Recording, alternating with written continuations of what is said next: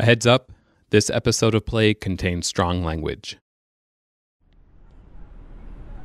One day last summer, my producer Eloise and I made a sort of pilgrimage as part of this podcast. We took the subway from our office in Midtown down to St. Francis Xavier Church, which you heard about in the first episode. And then we walked farther down to Greenwich Village, to the site of the old St. Vincent's Hospital. A friend was giving us a tour of what remains of this once iconic Catholic hospital, founded by the Sisters of Charity of New York. We were standing at the entrance of St. Vincent's Triangle Park, an island of green in the crosshairs of three hectic New York City streets. While we were taping, a tall man with silver hair hovered nearby. He clearly had something he wanted to tell us. I don't mean to interrupt. Uh, my name is Tom Bernardin, and I've lived right over here since 1974. Okay, so I was a young man and grew up here. I like to think of myself as sort of the semi curator of the park here. Tom takes his self appointed job very seriously. I'm the jerk that goes up to people and say, with my camera, what don't you understand right here? No dogs are allowed. It because it really kills me because you see families here with infants, and they want to go on the grass. You know, if they want. The day we visited the park was like any other, with people cutting through on their commutes home from work, couples sitting on benches, and lots of dogs, much to Tom's annoyance. It's possible that many of the people who use this park don't realize it's a memorial to the more than 100,000 people who've died from AIDS related complications in New York City alone, and to the hospital that served them. Visually, it's not all that clear. Most of the buildings surrounding the park that were once part of this hospital, they've been converted into multi million dollar condos.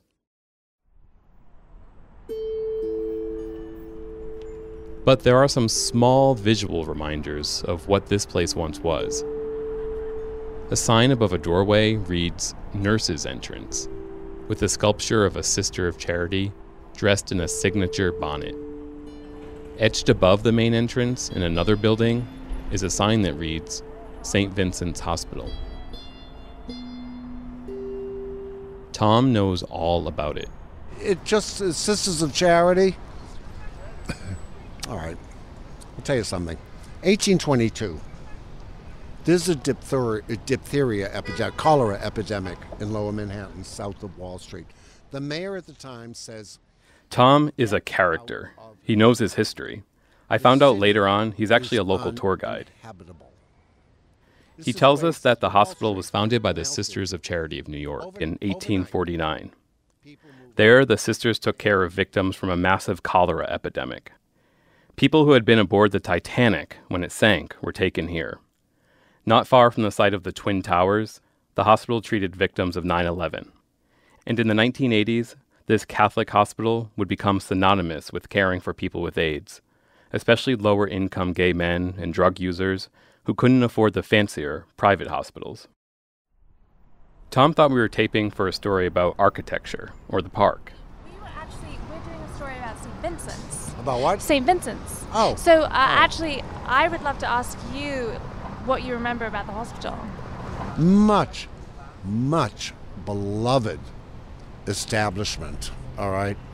Uh, it, it, it was almost too popular because any Catholics not in the neighborhood, if you were if you were uh, Dominican Catholic or Puerto Rican Catholic, you would gravitate towards a Catholic hospital. So it was really overwhelmed. I asked him what it was like to live here during the AIDS crisis. I lost all my friends. All right, you understand? I'm 24 when I move in here. I'm 70. Uh, so this was this was Auschwitz. This was a concentration camp opening up. You don't see that anymore. You don't see skeletons with the KS, and you don't see that anymore. But my God, what did, what did the hospital mean to you at that time? Oh, the hospital they were they were there. They were there.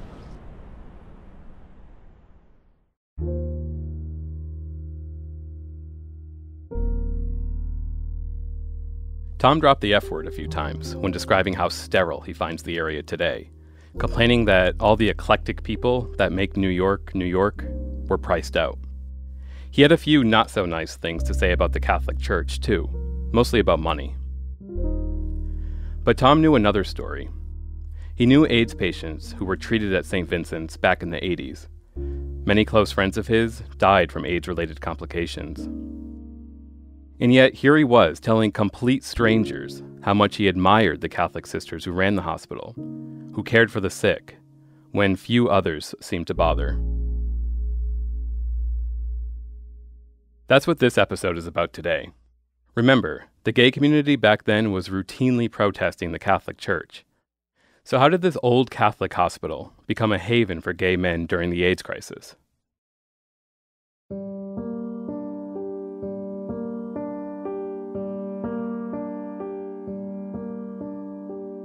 From America Media, I'm Michael O'Loughlin. This is Plague Untold Stories of AIDS in the Catholic Church. As someone who's gay and Catholic, I wanted to learn how people before me have managed this sometimes difficult identity.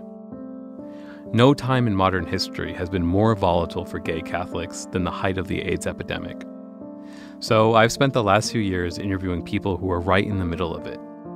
People who fought, worked, and grieved through it.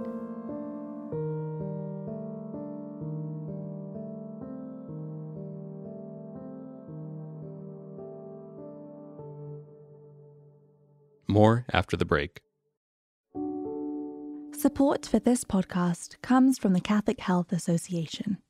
CHA represents the nation's largest group of non-profit healthcare providers. With more than 600 hospitals and 1,600 long term care and other health facilities in all 50 states, the Catholic Health Ministry cares for one in seven patients in the U.S. Learn more at chausa.org.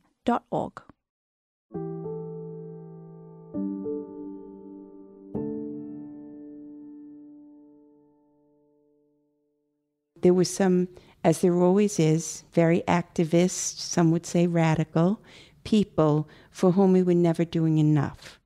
That's Sister Karen Helfenstein. She trained as a nurse at St. Vincent's. She once oversaw St. Vincent's entire emergency department, and during the AIDS crisis, she was a top hospital administrator. She talked about the activists who protested the hospital. And one of the things they learned was that the Catholic bishops did not want the use of condoms in Catholic hospitals or health services. If it's jarring to hear a Catholic sister talk about condoms, it shouldn't be. Sister Karen worked in the hospital during the AIDS epidemic with many other sisters of charity. This inevitably led to frank conversations about how the virus was spread through certain body fluids. Doctors said the best way to slow the spread of HIV was through the use of condoms. This posed a special challenge for Catholic hospitals. The Catholic Church teaches that sex should be reserved for a married man and woman always open to life. That means no condoms.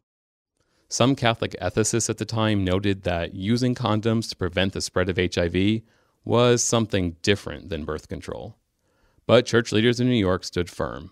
Condoms could not be distributed in Catholic healthcare centers. And that rule sometimes made Sister Karen's job challenging. I was vice president for mission at St. Vincent's, and my friend would call it Mission Impossible. That meant it fell to Sister Karen to make sure the hospital carried out its mission, which included serving the poor while also respecting the rules laid out by the church around sexual ethics. Uh, during the beginnings and in the heat of the AIDS crisis, there were very um, activist doctors, social workers, professionals who were attracted to come and work at St. Vincent's.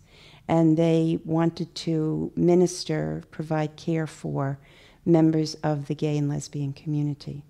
Lots of these doctors and nurses and social workers were Catholic, and at the AIDS clinic, lots of them were also gay. And nearly everyone had an opinion on how to best respond to the AIDS crisis. One night in September 1989, simmering tension between gay activists and the Catholic hospital had boiled over.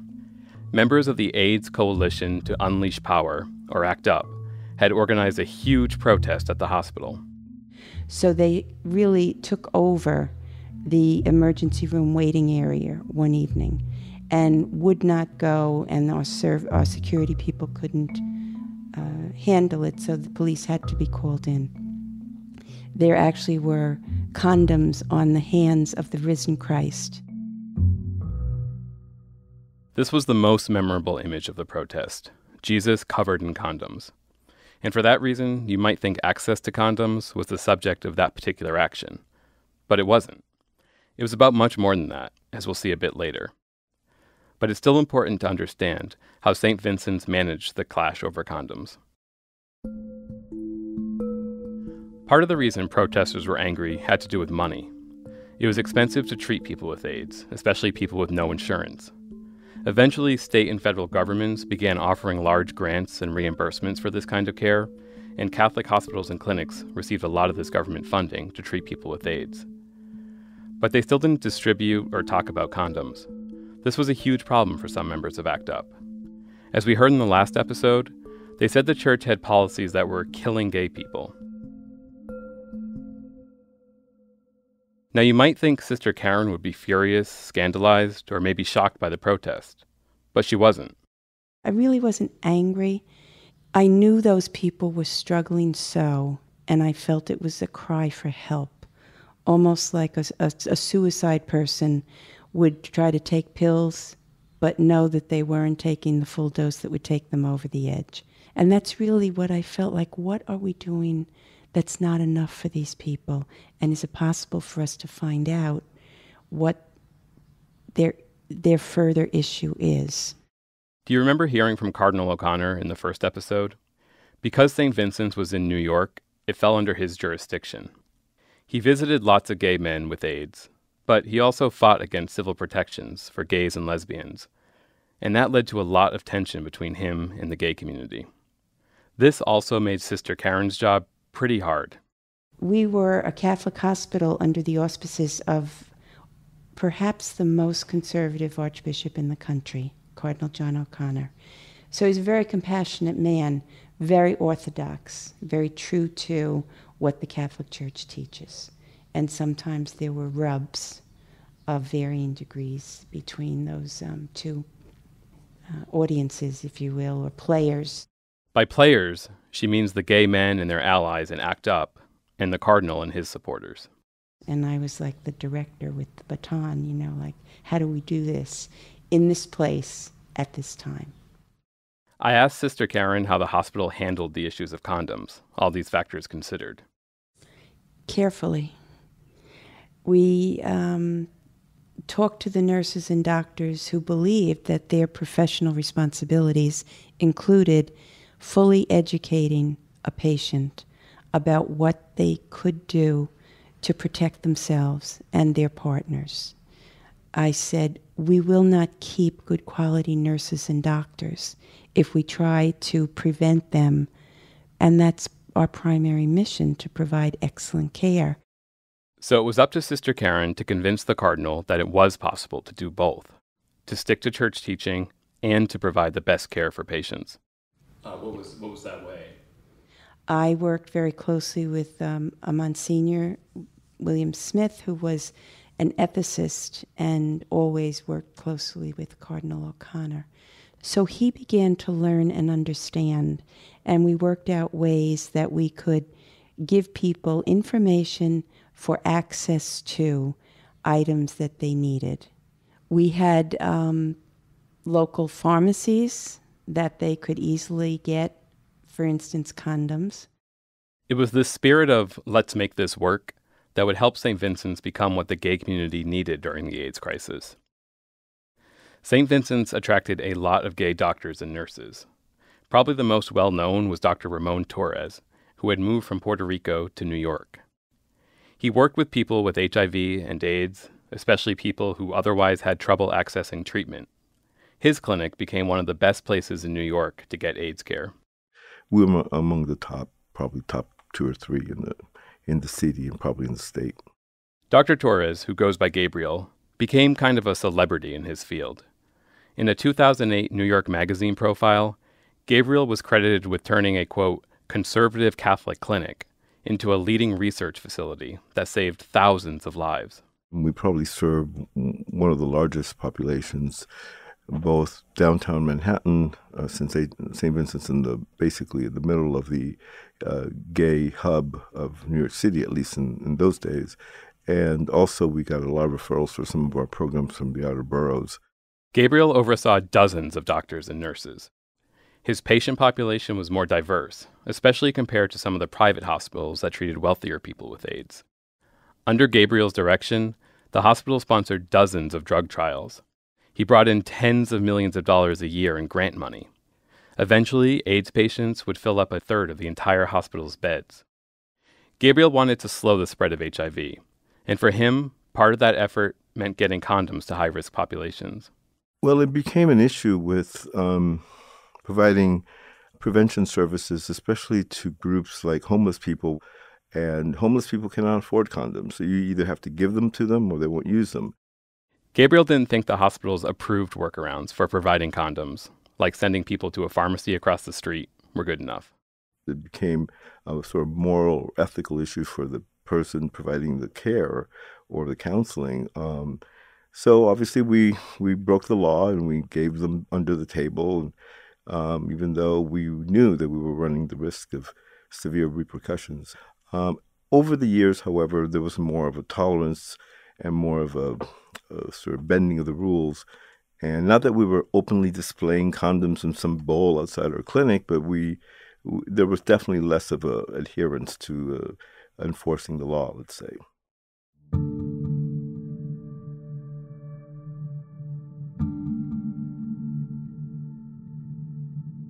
It may have violated the hospital's policy, or laws, as Gabriel put it, but the compromise sort of worked for everyone involved.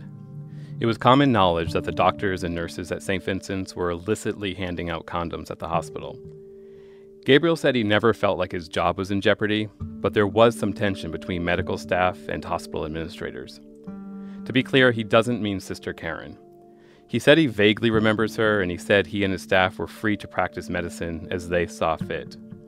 Instead, he said there was a sense that the administrators, more broadly, did not want to bring too much attention to the hospital's AIDS work. It's a bit complicated. They were proud of Gabriel's clinic, but there were fears early on that if St. Vincent's was too closely associated with AIDS, it might scare away other patients. And you know, ACT UP came and did their thing, and they put, you know, they made a a lot of noise, and they put condoms on the arms of Jesus Christ. There was the crucifixes that were in the in the ER walls, and I mean that was felt to be quite offensive by the uh, administration, and they got a lot of flack for it. Um, and then, of course, it translated to us because they wanted to know whether we had anything to do with it, which we didn't. The image of condoms on a cross was one of the first to come to mind for both Gabriel and Sister Karen when I asked about the protests at the hospital. But it doesn't tell the whole story. Condoms were available at the hospital's AIDS clinic anyway. That's what Gabriel said. And other doctors and nurses who worked at St. Vincent's told me the same thing.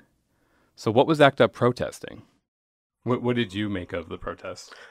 I mean, it's we are protesting things that were, I mean, real. I mean, even in a place like St. Vincent's, there was uh, a lot of homophobia, a lot of uh, HIV phobia, or phobia of something unknown that could be transmissible. Other people we interviewed also brought up this prejudice. The protests made it public. For them, this was very disgraceful that they were being uh, portrayed as, uh, you know, having these issues. And of course, then you have to deal with the aftermath. It's like, what are we going to do about it? That was the question that Sister Karen and her colleagues grappled with. Remember, people in ACT UP disagreed with Catholic teaching on a range of issues. But this ER protest wasn't about all that. It was about how employees at the Catholic hospital treated gay patients. We were at an ACT UP meeting, and um, we were hearing about some horror stories coming out of St. Vincent's Hospital. Gerri Wells was an ACT UP member who helped lead the protest. You heard from her in our first episode. She was raised Catholic and felt conflicted about joining the big St. Patrick's Cathedral protest. That took place a couple months after this ER protest. She was tough. She was a construction worker, she had been a cop, she knew St. Vincent's well. Her brother had died from AIDS. We were hearing a lot of ugly stories coming out of um, people's lovers dying or very sick and then not letting in their lovers to see them. um, security guards were being abusive towards gay people. In this interview she did with the ACT UP Oral History Project in 2007, Gerri acknowledges that ACT UP targeted the Catholic Church more broadly because of condoms. But that's not why she protested at St. Vincent's. I had no venom. I didn't hate any of these people. I just disagreed with them. Hundreds of people turned up to protest. It took place shortly after several gay men had been attacked at Wigstock, a drag festival held each Labor Day weekend. One of the victims was taken to St. Vincent's. He was dressed in drag, and he said some of the hospital staff referred to him as a prostitute. Others called him a faggot. His partner wasn't even allowed to accompany him to the ER. Still, not everybody in ACT UP agreed with Gerri's decision to storm the waiting room. At this point, a lot of ACT UP members had been raised Catholic, and some were still practicing. It's St. Vincent's Hospital. That's the Cardinal's baby, you know. So, you know, so there was a lot of mixed feelings about that. You know, it's like going after the church again. ACT UP had protested banks, pharmaceutical companies, politicians. But this was a hospital, a hospital where gay men were dying. Some ACT UP members were not keen about causing a scene. And some guy stood up and said, "Oh no, that's like a, you know, it's not a good thing to do. You know, it's a waste of time." And you know, and I stood up. I was pissed off at that point. I said, "You know what? St. Vincent's is a business. Period. Anytime you're going to get bad press to a business, it's not a good thing. They'll hear us if we go over there, and we did. We all marched over there." Gerri and the other protesters weren't out to just create drama. They weren't interested in yelling and screaming, letting off some steam, and going home. And the last thing they wanted to do was to disturb patients. Gerri and the others wanted gay patients to be treated better. And even if she didn't love Gerri's tactics, Sister Karen and her boss, another sister of charity, at least agreed with the goal. And the security officers wanted Sister Margaret, who was our administrator at the time, to press charges that people had violated our property and disrespected us, and that. And Sister Margaret Sweeney was stellar, and she said, "No, we're not pressing charges. We need to find out." What these people's issues are, we need to talk with them, and we need to see what we can do, learning from them what their needs are. Sister Karen recognized that for all the medical care St. Vincent's offered the gay community, there was still room to grow when it came to the hospital's culture. At one point, we were found by them not to have security guards that were sensitive to how the gay community behave. And sometimes publicly kissing at the doorway of the hospital was offensive to perhaps a young security guard who came from a, a very um, fundamentalist religious background, they could hardly tolerate the view of that and thought that it was offensive to the hospital. Hospital administrators met with Gerri and other ACT UP members to figure out a way forward. We worked on changing the rules at St. Vincent's Hospital so where people, their lovers can get in and see them and had more say. And people were treated with more respect. Um, we got what we wanted, you know, and we worked hard on that. Sister Karen explained part of that process. So we then had several of the staff, if not all of them probably, um, take part in a sensitivity training program for understanding better the gay and lesbian lifestyle and the need to support them in there. And these people are simply grieving and helping each other through a terrible time in their life.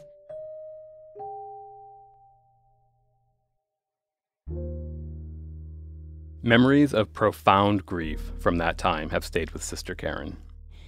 It, it was it was a time that you can hardly explain because it was filled with pain and disbelief that we're here.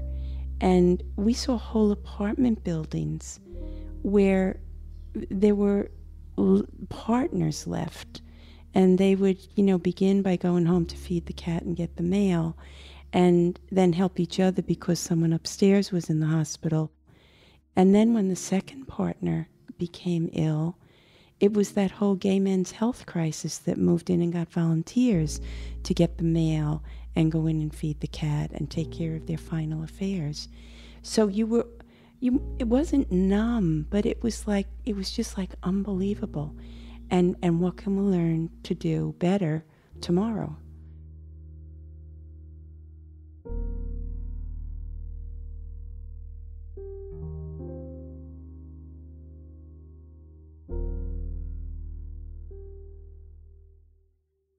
There's no question that placing condoms on an image of the risen Christ was meant to attract attention, even to offend.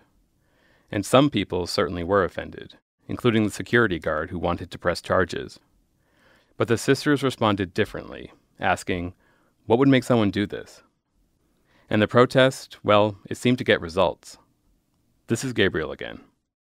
Um, a protest is made and so that problems can be addressed and resolved. And um, I mean, to some degree, it helped. It brought more attention to the hospital and its HIV program. So overall, it, it was effective, I think. Did you see the environment get better over the course of uh, when the crisis was going on? I think yes. I think over the span of 14 years I was there, there was a you know gradual development of tolerance and acceptance um, the nurses, for instance, were fabulous. I mean, the nursing staff at St. Vincent's were uh, among the best in the city, the physicians as well, the care providers. And even among the administration, there, as the money came rolling in, obviously, when we got grant funded programs, the administration became more swayed in terms of uh, being kinder to us. Gabriel had issues with the Catholic Church. He didn't agree with its teaching on homosexuality, and he obviously disagreed with church leaders about the role of condoms in combating HIV. Funny enough, though, he said he never felt his job was in jeopardy over condoms. But he tells a story about one time when he did feel like he might be fired. He had bought a wooden cross for his clinic and hung it up, thinking he was upholding the Catholic character of the hospital. But he says he got in trouble because apparently there were rules about the right type of cross to hang, it had to be a crucifix. So he felt like even when he was trying his best to work with the church, they were still bound to clash. He called the whole experience silly. Still, Gabriel said St. Vincent's Catholic identity made it special.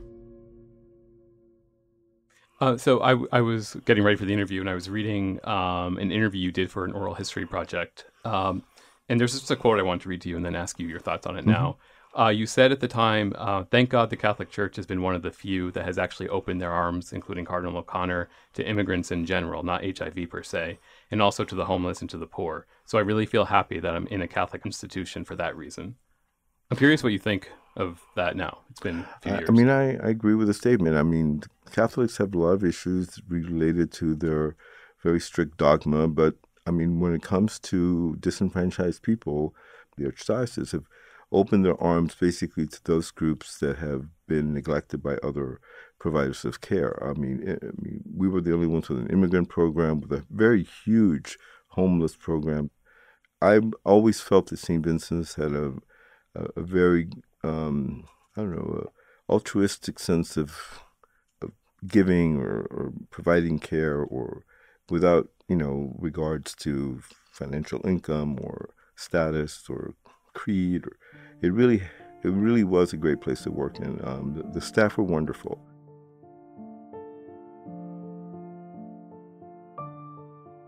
I spoke to several doctors and nurses, administrators, and volunteers who worked at St. Vincent's in the 80s and 90s. They all said more or less the same thing. The hospital had its flaws, but many people there, including the sisters, worked to help the hospital overcome its bias and homophobia. Plus, they said the sisters working there really took care of their patients. We heard about one sister who snuck cigarettes to some of her patients. Another would buy birthday cakes and wedding cakes. They hosted Christmas parties on the AIDS ward, which included Gerri as a drag Santa and her friend playing Mrs. Claus.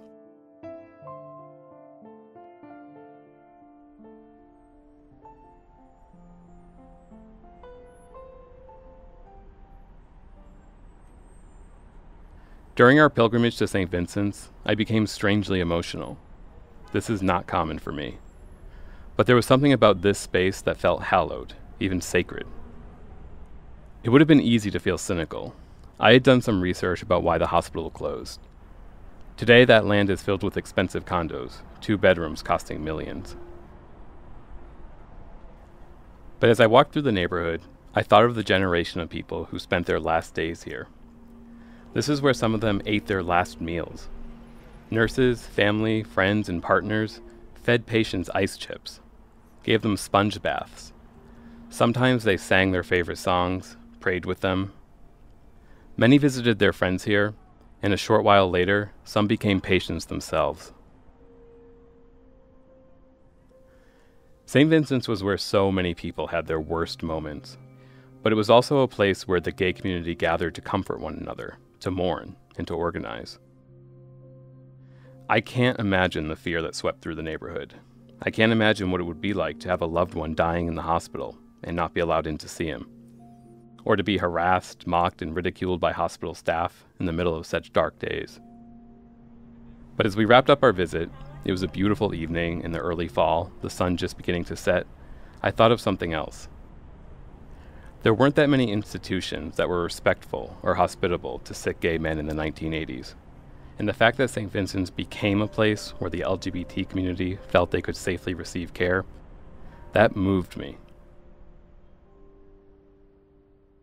It's not always easy to admit one's shortcomings, but the sisters who ran St. Vincent's did some soul searching. They didn't always get it right, but in the end, they helped make things better. That's who they are.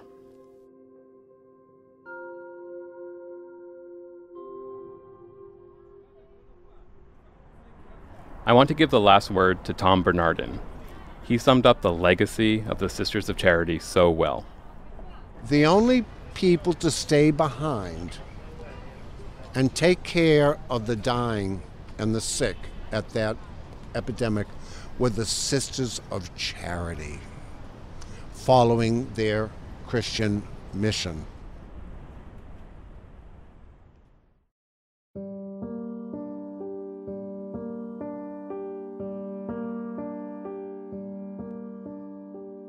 On the next episode, the AIDS crisis from the perspective of a pastor, figuring out how he can best respond to the overwhelming need he encounters.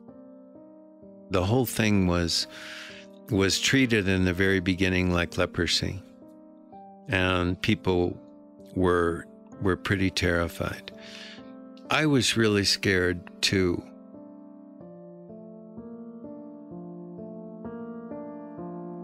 Plague Untold Stories of AIDS and the Catholic Church is a production of America Media. I'm your host, Michael O'Loughlin. This series was written and produced by me and Eloise Blondiau. The executive producer is Sebastian Gomes. Thanks to the team at America Media who helped make this episode happen Kerry Weber, Father Sam Sawyer, Tucker Redding, and Isabel Seneschal. Sound design by Rebecca Seidel. Original music by Christopher McCormick. Art by Sean Tripoli and Allison Hamilton. Parts of this episode were recorded in the William J. Loschert studio at America Media in New York. This podcast was made possible through the generosity of Mark A. McDermott and Yuval David, whose gift honors and supports all LGBTQ persons and allies, past and present. Special thanks to Robert David Sullivan, Jim Hubbard, Thomas Resnick, Dr. Chris Mills, and the Sisters of Charity of New York. For more about this episode, visit americamag.org/plague and let me know what you think by following me on Twitter at Mike O'Loughlin. That's M I K E O L O U G H L I N. Thanks for listening.